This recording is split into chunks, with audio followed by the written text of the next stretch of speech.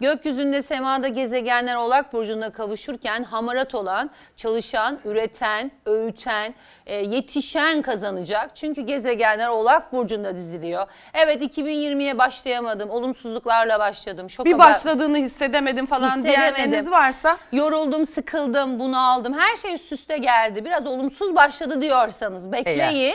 24 Ocak gecesinden itibaren bugünlerde etkisi başlayan Kova burcundaki yeni ay yeni dünya düzenini aslında başlatacak. Zaten hemen o 24 Ocak 22 Mart'a kadar oya gibi işliyor olacak. 22 Mart'ta ne mi olacak? Tabii ki ekinoks olacak. Ben size oraya defter onu, yetiştireceğim. onu ayıralım istersen hemen 22 Mart'ı. Bu şimdi yeni ayın Doğum. etkileri. Hemen etkilerini hemen Okey. başlayalım Ben koçla. yoksa burada bütün dünyayı Hep anlatacağım. biliyorum. Hepsine Dünyayı aynı anlatmak şeyi verelim istiyorum. zaman verelim diye. Koç burcu nasıl etkilenecek?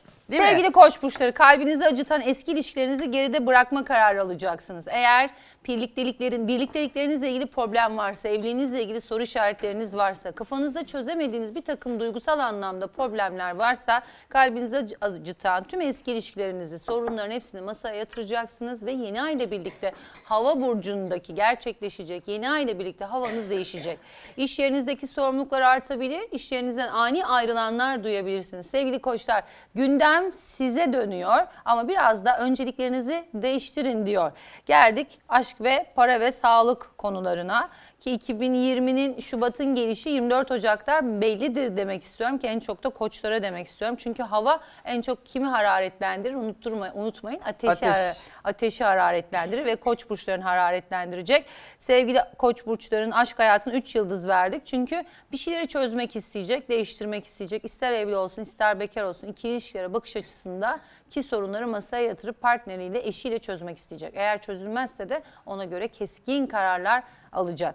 Para konusunda mı? Para konusunda sorumlulukları arttığı için dolayısıyla da parasında da artış olacak. Ama para harcayan e, 2020'nin son aylarında ki şey son ayında pardon 2020'nin başında para harcamadı yeni ay e, ve tutulmalarla birlikte ama gelin görün ki dayanamayacak ve ayın sonuna doğru e, para harcayan olduğu için ona 4 yıldız verdim. Aslında para beklentileri artacak. Maaşında artış olabilir, gelirinde artış olabilir, beklediği paralar gelebilir ama gelin görün ki harcamaları artabilir diyoruz.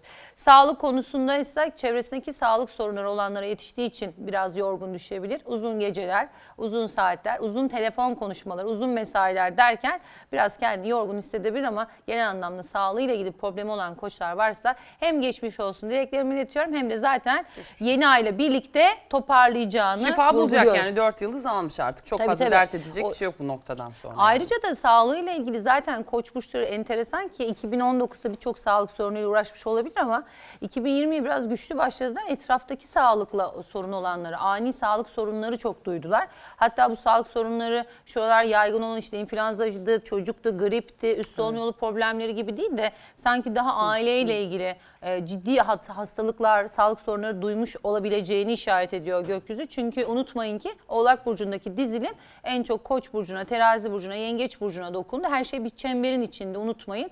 Her zaman astroloji dinlerken size tavsiyem bir daire çizin. Dolayısıyla da koçu e, teraziyi karşı karşıya koyun. Oğlağı yengeci karşı karşıya koyun. Zaten hikaye bir anda e, çıkar ve sizin de kafanızda o şema oluşur diye de daha böyle pratik astroloji de hemen Bilgileri de vermiş evlerinize olduk. vermiş olduk. Geldi